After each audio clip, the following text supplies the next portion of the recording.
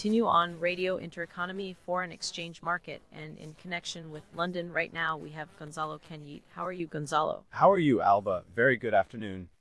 Very good evening already, but yes, we want to start by Well, it's addressing about time. the topic, touching a little bit on the euro and Germany, because throughout the whole program, we have been a little bit touching on what was the key news at the end of last week that the UK went into recession and Japan has gone into recession. They get compared a lot to Germany. Germany has moved up to that third spot of the world's largest economy at $4.4 trillion, valued at $4.4 trillion.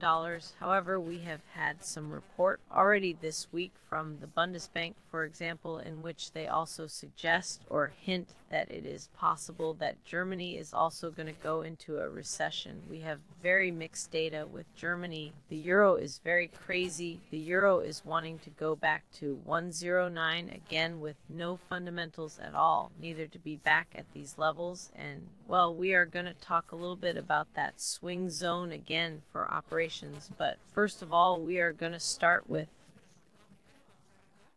with what is going on with Germany. So much mixed data, so much contradictory information here and there, and we need to see in detail. Yes, well, that's just what you said. The Bundesbank comes out with a report saying that Germany could be on the verge of a recession, which is funny, or basically it seems almost like a joke, right? Because it looks like it is starting to be on the verge of a recession. According to the Deutsche Bank report, it is curious, especially if we take into account. Look, I am reading data on the screen, right? We have the latest year on year growth rate for Germany is minus 0.3% Q4 of 2023, but the previous one was 0% and the previous one was 0%, and the previous one, the QI of 2023, was 0.1 growth, but 2022, they closed it with a decrease of minus 0.4. Oh, and to say that it seems that Germany could be in recession seems to me to be very optimistic, and that, again, what I am telling you makes it clear that they are former geniuses. The funny thing about all this is that the Bundesbank is admitting the obvious, which is why we posted about it earlier this week that Germany was more likely to be in recession right now because of its low foreign demand, consumer caution, and high lending rates that are impeding domestic investment. This is the Bundesbank's explanation of why Germany would be in recession. Not a single word about the main problem, the core of this problem of Germany, which is the energy resources of the country, which are basically destroyed, and no mention has to be made of this. No mention is made. Germany has said absolutely nothing about it, despite the fact that country's authorities, well known journalists, are already joining in, pointing out that those energy infrastructures that were destroyed by the United States, according to what they say. But Germany so far has not raised its head to ask for explanations for this. So it is quite sad. The incredible thing, moreover, is that, and we also published it at the beginning of the week, that the response given by the German government to this Bundesbank report saying that they could be close to a recession, that they could, right? The one that could.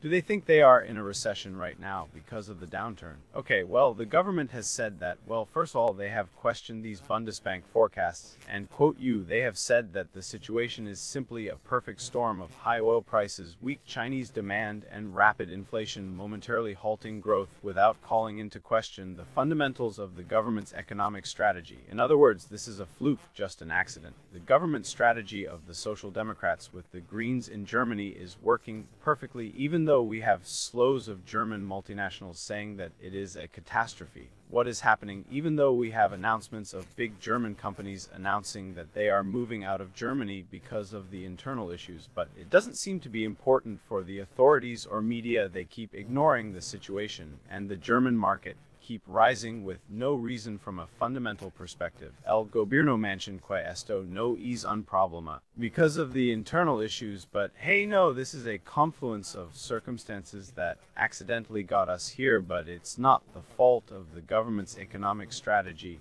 And of course, it doesn't agree with the Bundesbank that the Bundesbank thinks it may be going into recession in Germany. Apparently, they haven't looked at the data for a second, which is published everywhere, where you see that since the year end of the year end of the year, Germany presents completely dire data for its economy. So Very that's where we are. So that's how we are, and also that they are at all the oil prices. Well, it's just that much higher Yes, get, yes. as we have discussed, not only with you but with other experts. Oil is in a very supportive zone, and it could get worse for the Germans. What do we do with the euro? Because the euro is also also taking advantage of this adjustment that the dollar index has had since we commented on that break. It practically reached its objectives at 104.80, 105, and that is an area, it was an area of rotation and rest for the dollar index, which is resting. It is in that zone of 103 and 80, 103 and 40. The key is that it does not lose that zone and that it rests. That is what we are looking for, right, Gonzalo? Yes, yes. We even published in social networks a chart at the beginning of this week that showed the dollar index. I think it was on Tuesday when we published it. It showed the dollar with what it could start to be, just as we were right with the bullish pattern that was outlined in December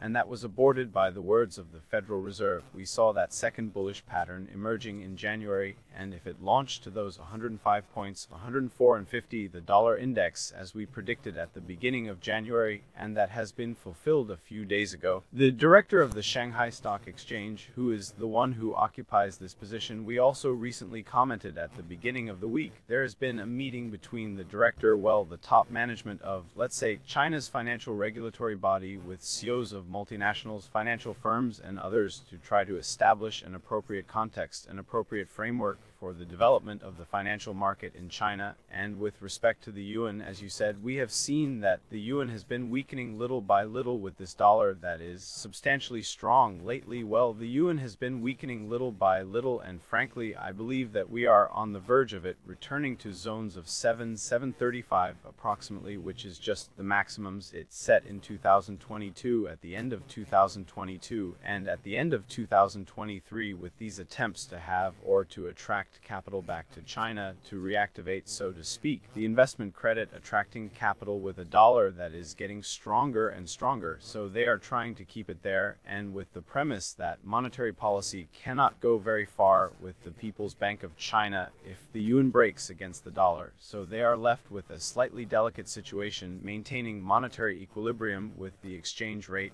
and with investment flows. Yes, yes, yes. They are at a crossroads, and we will continue to discuss it in future programs with you. You always bring us clues and data that we did not know about, such as the director and the sudden changes in that direction. Well, Gonzalo Canete, a real pleasure as always to connect with you and comment on all the news. The pleasure is mine, thanks to you. Best regards.